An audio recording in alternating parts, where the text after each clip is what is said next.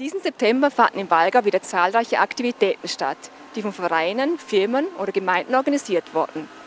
Raiffeisen als Genossenschaft ist hier aktiv als Partner mit dabei. Wir waren mit Walgau TV beim Ostfest hier in Nenzing mit dabei.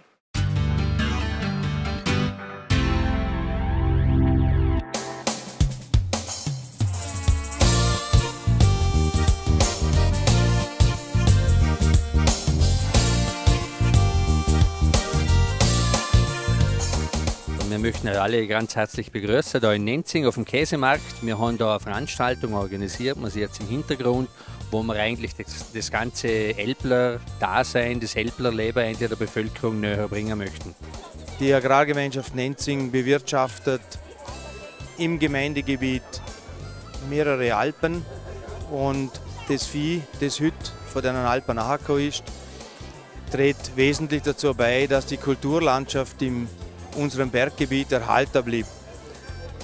Die Verbindung zu dem Markt da am Rathausplatz ist ganz wichtig, damit die Elbler und die Leistungen der Landwirte oder einer breiten Öffentlichkeit aufgezeigt werden können.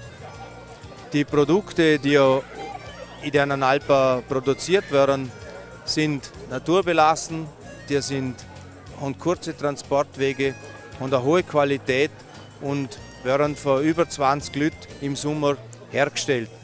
Und das sind 14 Stände mit der Bürina, die mit viel Liebe die Produkte hergestellt haben aus der Region von Enzig.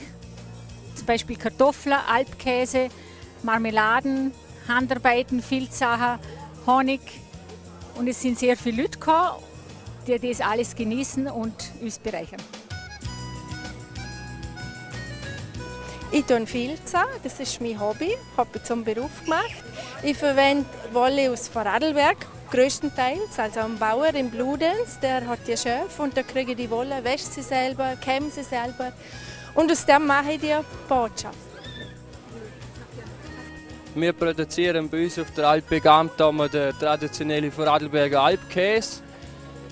Der Käse ist momentan noch jung und mild man reift er jetzt noch eine Zeit, bis er gehörig kräftig ist und würzig. Auf der Alpe Gamtama haben wir kurze Information, 58 Kühe, 70 Kälber und um die 40 Rinder.